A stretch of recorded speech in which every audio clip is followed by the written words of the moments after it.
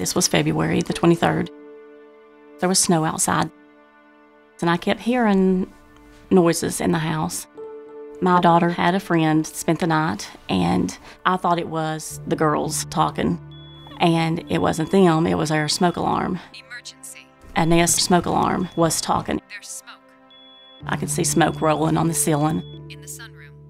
My work began at 4, and I got the Nest notification at 6:01 saying that there was smoke in the house.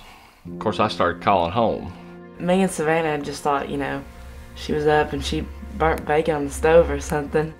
Emergency. I ran to the sunroom, and it had already engulfed the whole sunroom. Finally, I couldn't breathe, so I got down on the floor to crawl out of the sunroom, and that's when I found the dog. She had already passed out on the floor. So I grabbed her and went out the front door. My daughter and her friend were out there calling 911.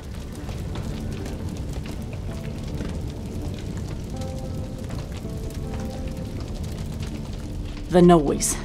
That's something that I don't think I'm ever going to forget. The popping and the cracking and the glass breaking, and it was just continuous.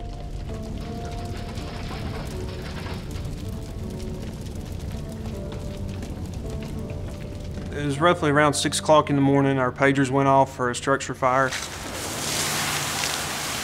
When I got on scene, the house was already fully involved. There was heavy fire coming out of the roof, a heavy fire coming out of the doors.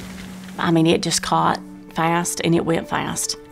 What saved that family was they had smoke detectors, and their smoke detectors alerted the family that there is a fire in the house, and everybody got out. You know, the house we lived in wasn't old, it was built in 2000. I had a space heater plugged up in the wall, never had a problem with it. The outlet just got overpowered. You just never expect it to happen to you. Then at the end of the day, when the fire department has left and, you know, you're stuck, where are we going to go tonight? You know, what are we going to do? And the community pulled together and helped us like you wouldn't believe. People were dropping envelopes off of money, and some of them would have no names on them.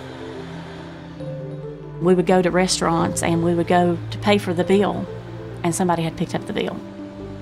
And once we get back on our feet and everything, we'll do the same thing. We are safe. yep, we're safe. Her friend's safe. You know, then you have to pick up the pieces and go on. And we've decided we are going to rebuild back on that property.